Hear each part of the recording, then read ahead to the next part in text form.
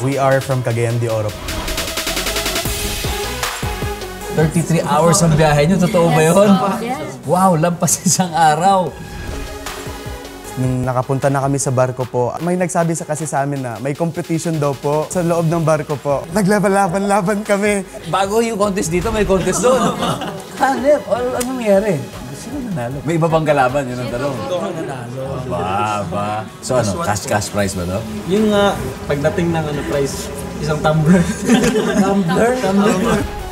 Before po sa CDO pa lang po kami, view talaga namin sa team. Kahit umabot lang tayo doon sa Manila, kahit anong mangyari doon, basta makaabot lang tayo, parang ganun ba? Ang hirap po sa Cagayan po kasi yung naranasan po namin last 2012, yung bagyong Sendong po.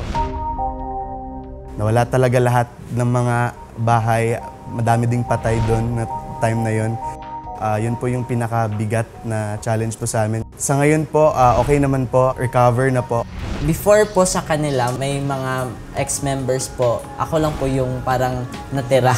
Numabot din po sa time na parang feel ko na stop ko na po yung pagbuo ng grupo kasi nga parang wala namang nangyayari kasi paulit-ulit akong naghahanap ng mga grupo tapos biglang ano may conflict. Parang nafe-feel ko po minsan na naiiwan ako sa ere. Pero nung nakilala ko po ulit sila, siguro nung mga times na iniwan ako, yun, yun din po yung nagpa-realize sa akin na hindi ko po kailangan na i-stop yung dreams ko.